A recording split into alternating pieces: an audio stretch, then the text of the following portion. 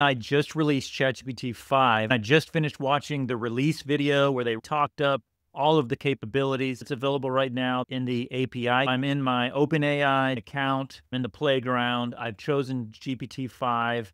There's also GPT 5 Nano and Mini. I'm just going to test right now the GPT 5 on the things that we usually test here on this channel, and that is with writing and author related things like coming up with a premise, an outline, doing the actual writing of chapters, coming up with a website, coming up with an app that's related to the book or book series.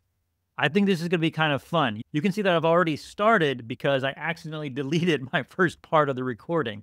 What I did is put in a pretty detailed prompt. I want to test it first on coming up with a premise and an outline. And it took less than a minute to come up with this information. I asked it to analyze the biggest bestsellers from the last 10 years and here's what it found in its phase one analysis it talks about unreliable perspectives, the twist that rekeys the whole first half, unsafe domesticity, which is very interesting, deeply flawed leads with buried secrets. I think that's been pretty common in bestsellers forever. Pacing and structure, themes audiences respond to, identity and memory. Interesting. I do like those kinds of stories. So, synthesis and creation, synthesizing the patterns found in those bestsellers from the last decade into this premise. Here's the high concept premise it came up with. I have read this once before, just a few minutes ago, but I think it's pretty good. Here's the premise A crime scene photographer with face blindness thinks she has rebuilt a safe life in a meticulously uniform cul de sac until a neighbor is found dead. Evidence suggests the man that's been in her bed on crucial nights wasn't her husband. As she hunts for a killer, she must rely on non facial clues. I really like this because it provides opportunities for tension later in the story. As a reader, I'll be looking for the habits. Back to the premise. While hiding the secret that once her expert testimony misidentified a subject and ruined a life. The more she decodes the sameness around her, the more she realizes it was designed to be weaponized against her. I really like how the plot is embedded in the character and vice versa, and that her marriage may be the most dangerous blind spot of all. As far as a high concept premise, I like it. Then we have a protagonist with core flaws, secrets, primary motivation, and antagonist with the same. We have these core tropes used in this outline and premise based on the analysis of the bestsellers from the last decade. Then we have a detailed beat sheet three act structure, 15 beats, probably from the Save the Cat methodology, which I actually really like. Even though it's for writing scripts for movies, I find it very helpful for writing stories. But you can certainly use whatever you want and like. And I haven't really read that detailed through here. You can pause and look through it if you want, but it seems pretty good to me. What I asked it to do is take that information and expand into a detailed scene by scene list. And I haven't looked at that yet. But I did want to highlight this notes for execution. Structure the book with a brisk, voice driven chapters, intercut with brief field notes from Olivia's non face ID journal and HOA messages to seed clues. I think that's an interesting way to incorporate different devices into the story.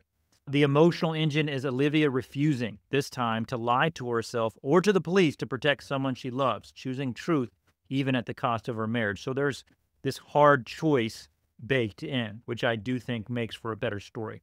Let's see how it did, how ChatGPT 5 did with expanding this information, the outline and the premise and the beat sheet into a scene by scene list.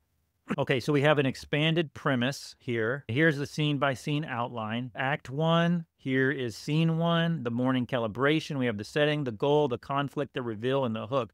All for scene one, and this is in act one. Let's see, how many do we have in act one?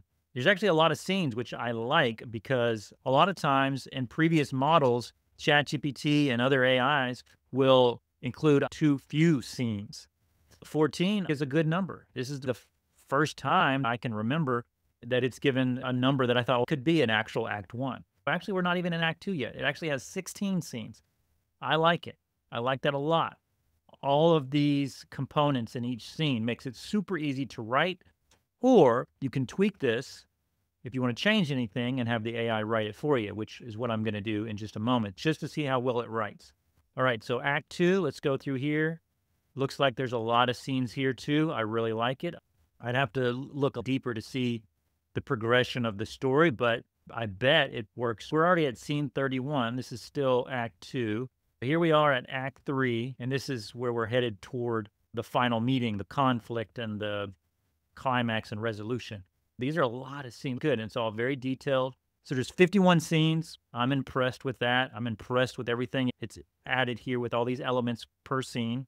This one probably took about one to three minutes if I had to guesstimate how long this took. All right, notes on pacing and suspense. And keep chapters short, three to six pages to maintain momentum. Ensure every scene ends with a question, a new piece of evidence, or a complication to sustain reader compulsion. Definitely want to have a variety of the ways that you end your scene, in my opinion. All right, now let's find out if it can actually write. Let me come up with a prompt.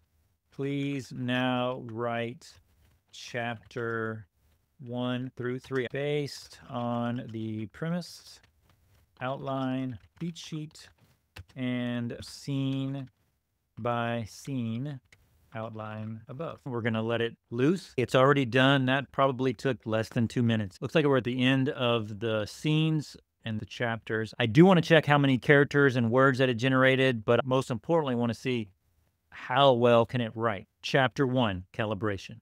The coffee maker is new and wrong.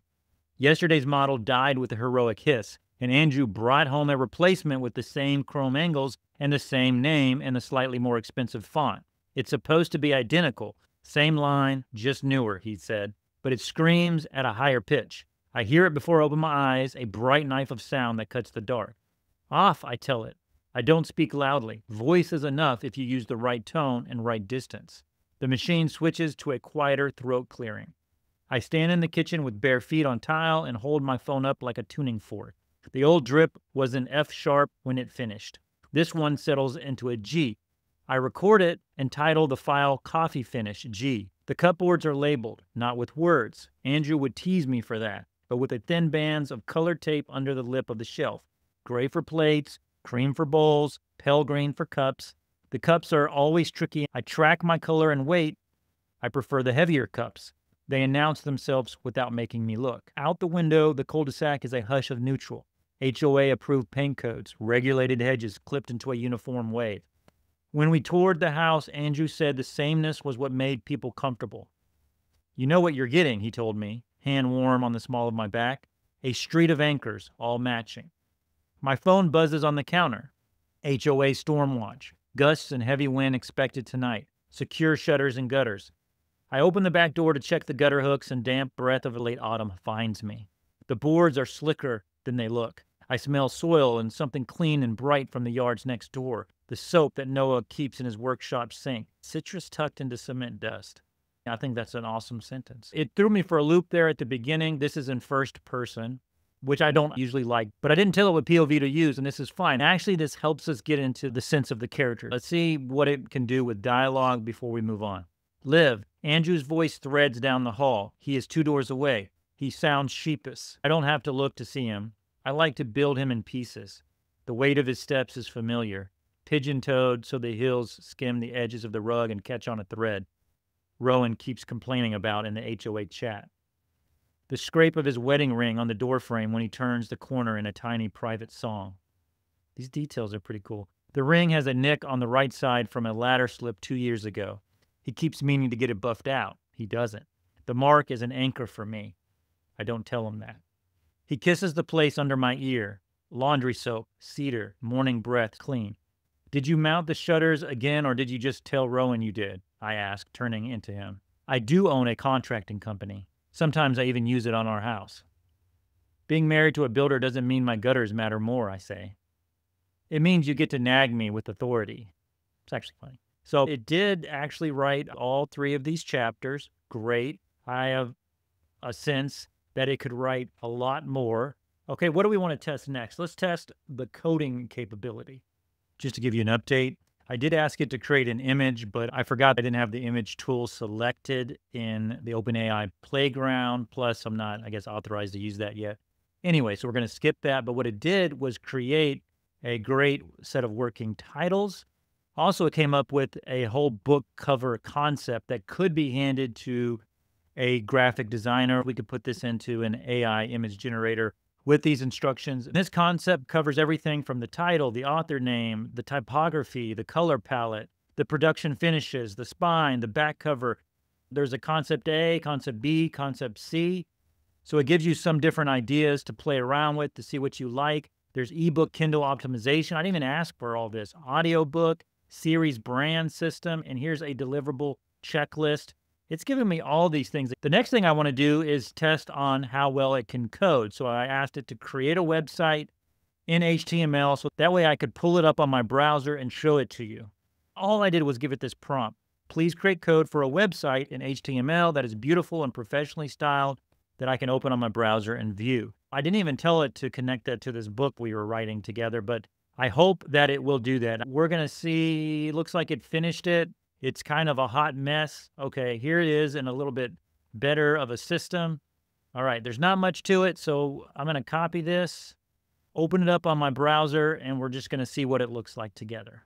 What I did was copy the code, drop it into a notepad file on my desktop, and save it as an HTML file, open it up in my browser. And I'm not very impressed with this first version. I'll see if I can get something better. The apps and different things they created in the release video looked a lot better than this. So maybe it's the prompt that I used. It did actually add some images here, which is kind of cool. And there's some neat sections like the reviews and the full sample and the excerpt, book info, different links. There's also about the author and sign up for a newsletter. But overall, this is pretty basic. Let's see if we can get a better version. Now I've come up with a much better prompt.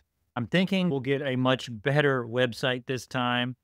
We'll find out. But again, this is super fast. The writing is really good. The coming up with the ideas and the premise and outline, top notch. I like it for that. Can't wait to try more. Again, we're using this in the playground, so it's not exactly going to be a perfect test or set of tests, but I hope that you find it helpful. Holy hell, guys. This is so much better. I think maybe it was user error on how I copied the first code. Look how good this is. This is actually crazy. All right, so we have the man in her bed, summary, hook, reviews, author. Let's see if it goes anywhere. Oh, it actually drops it down here. Here's the summary, why you'll be hooked, what readers are saying. Look, that's neat. Interactive about the author. Okay, Nightgate Press definitely made that up. This is actually pretty cool. Buy now, read the summary. I guess that's right there. When I give it a very simple prompt, like just create a website, the results weren't great, but I also think that I copied the code wrong. So I don't want to blame that on ChatGPT 5. For my last test, I wanted to test ChatGPT 5's ability to create an app for authors that I am calling Author DNA Analyzer. The concept is that the app will analyze a piece of text and generate a writer's DNA profile, breaking down the user's style into a percentage mix of famous authors. I'm hoping that the results will be insightful and fun. I've included some instructions here, and it actually just came back with the code for this app. Now I'm going to figure out how I can test it and show it to you. You know, this review isn't fake because I'm not cutting out all the flops. The first app didn't really work for me. I found several bugs, not a lot. And I wasn't really sure how to test it. There could be more user error than ChatGPT error. I'm running it again, but I think it created a command line prompt app game interface kind of thing. I don't want that. I want something a little bit cleaner to use. So I'm asking it for a second version of this same kind of app that I can just run and, and preview in the browser. I'll let you know how this works and show you in just a moment. Okay, this looks really good. You could probably tell that it uses a lot of the design features of the website, but you can paste your writing in to discover your author DNA. You can put up to 300 words here. I copy and pasted some text from a short story I wrote. I clicked Analyze Author DNA and said Proceed anyway because it was a shorter version. And here's what it said. Based on your sample, and a balanced cadence that flows without calling attention to itself. The overall effect blends clarity with atmosphere, yielding prose that feels assured and absorbing. And it gave me 42% Kazo, I might be butchering the name, for my restrained voice, veiled emotion, 32% Haruki for your cool detachment and dreamlike drift, and 26% Ursula for your lucid world building and clarity. You could copy it, you could save it, You could try other snippets of your copy. That's actually pretty cool. I'm really impressed with this. That's the end of these tests. Let me know which one you like the most and how you're going to be testing out ChatGPT in the comments. Thank you so much for watching. I'll see you in the next one.